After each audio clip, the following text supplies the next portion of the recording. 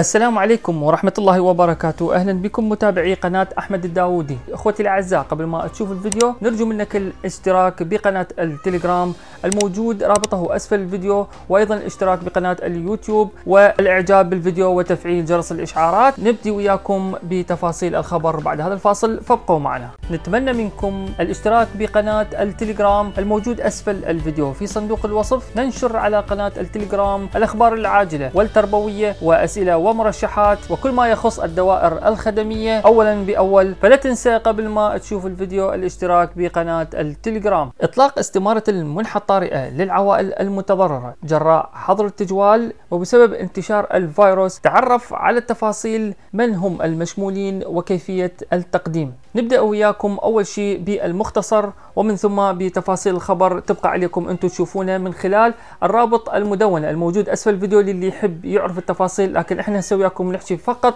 آه، مختصر عن تقديم الاستمارة ومن هم المشمولين وكيف تقدم على الاستمارة. هو منطيك تعليمات أول ما أنت راح تضغط على الرابط الموجود أسفل المقال. آه، أول ما تضغط عليه راح تطلع لك قائمة بها التعليمات وبالأخير يقول لك اوافق أو لا اوافق طبعا أنت بعد ما تقرأ التعليمات راح تقول له اوافق راح ينقلك قبل على راح ينقلك على حقل تخلي بها آه، رقم الهاتف الخاص بيك ولا تخلي أكثر من استمارتين أو ثلاثة برقم واحد. ونرجع نغلط نفس الغلطة مال المنحة الطارئة العاطلين عن العمل نضع رقم التليفون الخاص بيك ومن ثم تضغط على إرسال راح تجي إلى الرقم اللي أنت خليته راح يجيك اشعار آه، بها الكود. تاخذ الكود تنزله على آه، الاستمارة ومن ثم تقول له تأكيد قبل راح تفتح لك الاستمارة الموجود أمامك.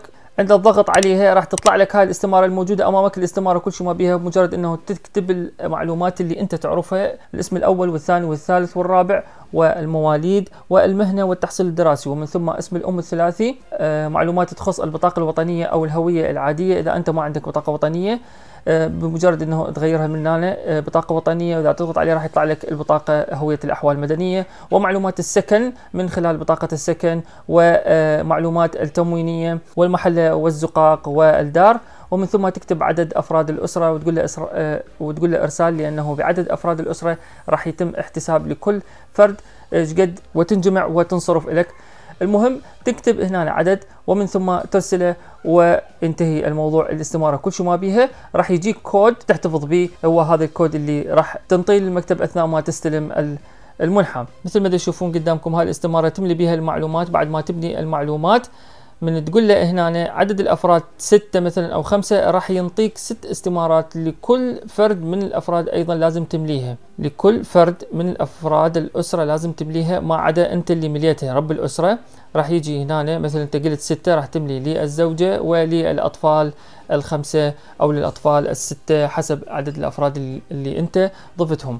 هاي من بعد ما تملي الاستمارة لرب الأسرة. نجي هسه بالمختصر. تعليمات المشمولين بالمنحة الطارئة للمتضررين جراء حظر التجوال وكيفية التقديم إليها. اولا التقديم لمدة خمسة أيام وعلى مدار الساعة.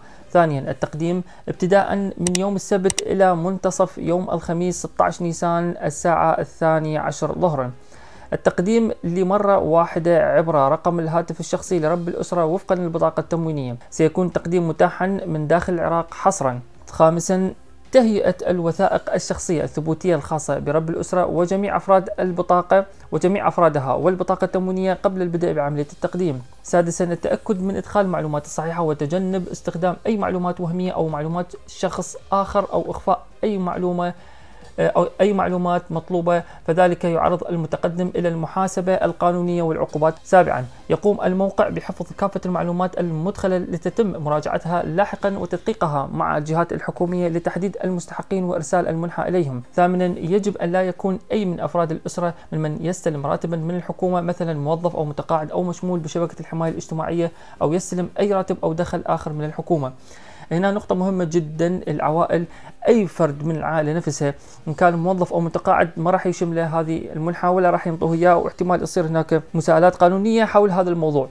إن القيام تاسعا إن القيام بعملية التقديم يعني تعهد المتعهد بقراءة وفهم هذه التعليمات والموافقة على الشروط والأحكام المتعلقة بالمنحه عاشرا في نهاية العملية التقديم يتم تحديد رقم تعريفي خاص بكل طلب يتم الاحتفاظ بهذا الرقم وسيتم التواصل مع المستحقين قبل نهاية شهر نيسان وبعد إكمال عملية التدقيق والمصادقة لإرسال المنحة إليهم. مثل ما قلت لكم بعد ما تخلص راح يجيك كود تحتفظ به. 11 بعد الانتهاء من عملية التقديم وظهور الرقم التعريفي يكون المتقدم قد أكمل المطلوب منه. ولا حاجة للقيام بأي شيء إضافي. إذا كانت هناك معلومات إضافية أو وثائق مطلوبة فسيتم التواصل مع المتقدم عن طريق رقم الهاتف المعرف.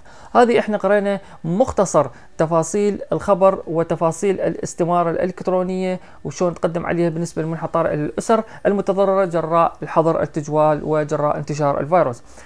أنت تريد تعرف التفاصيل تدخل على رابط المدونة الموجود أسفل الفيديو راح يعطيك التفاصيل أكثر عن هذا الخبر. وتؤكد اللجنة العليا للصحة والسلامة الوطنية أن المنحة المالية مخصصة للأسر التي تمر بظروف مادية صعبة بسبب انتشار وباء وحظر التجوال وتأثر فرص العمل.